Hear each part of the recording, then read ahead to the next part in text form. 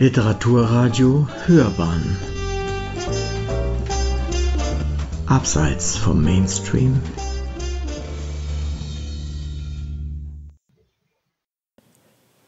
Zeichen und Zeiten. Ian McEwan Lektionen. Eine Rezension von Constanze Mattes so viele vergessene Lektionen. Das ganze Leben, die Meisterklasse in der Literatur. Schriftsteller haben sich daran abgearbeitet, die einem Menschen gegebene Zeit zu erzählen. Manchen ist es bravourös gelungen, manche sind daran kläglich gescheitert. Der Engländer Ian McEwan zählt zur ersten Gruppe denn sein neuer Roman Lektionen ist ein Meisterwerk, das dem Leser einen Leserausch verschafft, der lange im Gedächtnis bleibt. Abhängigkeiten. Doch wo in dieser Besprechung anfangen, wenn die Geschichte nahezu ein ganzes Leben mit all den unzähligen kleinen wie großen Ereignissen sowie den Beziehungen zu zahlreichen Menschen umfasst? Am Anfang oder am Ende des mehr als 700 Seiten umfassenden und damit recht opulenten Buches. Beginnen wir vielleicht einfach beim Titel des Romans, der in der deutschen Übertragung übernommen wurde. Lessons, also Lektionen heißt der neue Streich des Briten, der allerdings schon zu Beginn einen Bogen zum Titel schlägt. Wieder die Klavierstunde.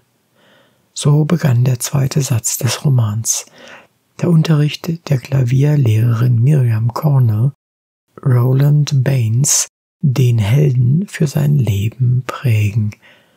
Die junge Frau verführt den Sohn eines Armeeoffiziers und Schüler eines englischen Internats, der die ersten Jahre seiner Kindheit in Libyen verbracht hat.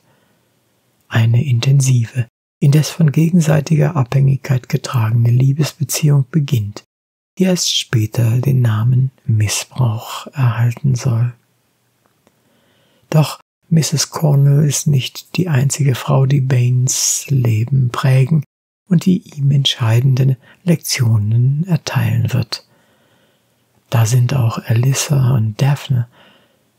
Erstere ist die Tochter einer Engländerin und eines Deutschen, die ihren Mann und den kleinen gemeinsamen Sohn Lawrence von einem Tag auf den nächsten verlässt um eine Laufbahn als Schriftstellerin zu beginnen. Ihr spurloses Verschwinden wird dabei sogar zu einem Fall für die Polizei. Die zweite ist eine langjährige Freundin, mit der der Held den Bund der Ehe eingeht, als er bereits in die Jahre gekommen ist.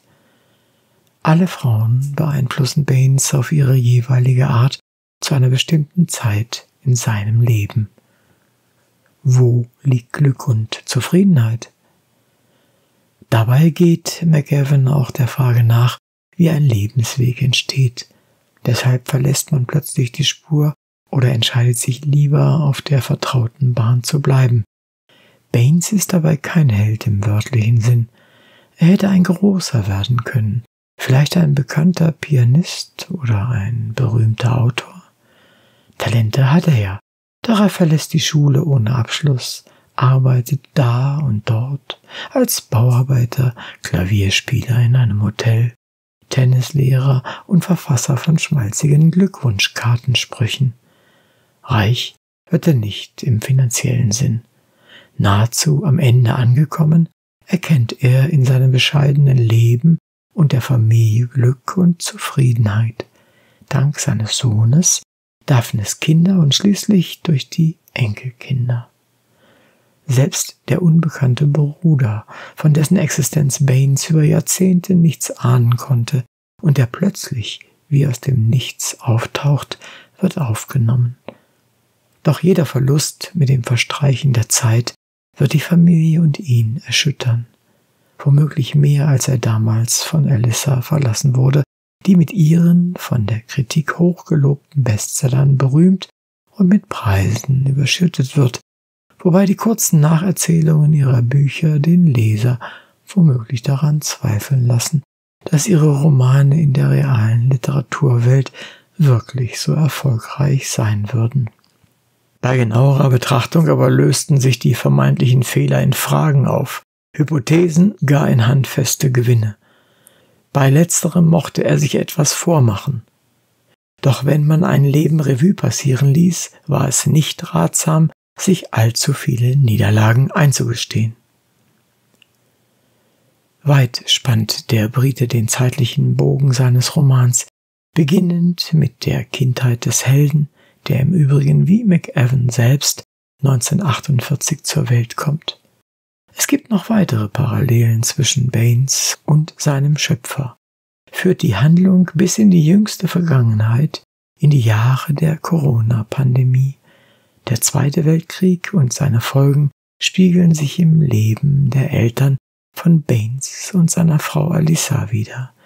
Ihr Vater zählte einst zum weiteren Kreis der Widerstandsgruppe Weiße Rose um die Geschwister Sophie und Hans Scholl. Baines ist hingegen ein Kind des Kalten Krieges. Die Kuba-Krise treibt ihn in die Arme seiner Klavierlehrerin. Er reist mehrfach nach Ostberlin, erfährt, wie das sozialistische Regime Menschen zerstört. Nach der Reaktorkatastrophe in Tschernobyl bangt er um die Gesundheit seines kleinen Sohnes, hat er mit dem Mauerfall die große Hoffnung, dass nun die Zeiten von Frieden, Demokratie und Abrüstung beginnen, wird er eines Besseren belehrt. Jede Generation wird in diesem Buch die für sie prägenden Ereignisse finden, ob der Falklandkrieg, AIDS, 9-11 oder der Brexit. Zahlreiche historische Schlaglichter finden sich, wie auch viele Anspielungen und Verweise auf Kunst und Literatur. Das große aktuelle Thema Klimawandel zeigt sich in der Figur von Baines Sohn, der Wissenschaftler wird und mit seiner Familie in Potsdam lebt. Beziehungen im Wandel. Und obwohl Lektionen so reich an Themen ist, hat man nie den Eindruck eines too much. Vielmehr macht der Leser die wichtige Erfahrung, wie politische und gesellschaftliche Ereignisse, die letztlich zu Geschichten werden, das Leben eines Menschen beeinflussen, denn nicht immer lässt es sich frei entscheiden, wohin der Lebensweg geht. Oder führt uns das Leben nur? Trotz der Opulenz dieser realen Kulisse lässt sich McEwan nicht nehmen, den Fokus auch auf die einzelnen verschiedenen Beziehungen des Helden zu lenken, auf deren Beginn und auf deren Ende. So ist Lektionen auch ein Buch der Begegnungen und Wiederbegegnungen, die über das Leben der Charaktere entscheiden. McEvans neuester Roman ist im Vergleich zu seinen Werken der vergangenen Jahre umfangreicher doch man sollte sich von der Dicke des Buches nicht abhalten lassen. Lektionen bereitet eine rauschhafte Lektüre, die sowohl bildreiches Kopfkino als auch ein berührendes Porträt eines speziellen Helden und ein großartiges Panorama einer vielschichtigen wie wechselvollen Zeit und lässt uns selbst so manche Lektion erfahren. Was braucht es da mehr? Sie hörten Ian McEvans Lektionen. Eine Rezension von Konstanze Mattes. Sprecher Uwe Kulnig.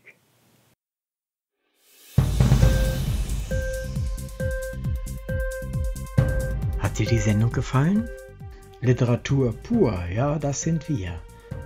Natürlich auch als Podcast. Hier kannst du unsere Podcasts hören. Anchor, Spotify, Apple Podcasts, iTunes, Google Podcasts, radio.de und viele andere mehr.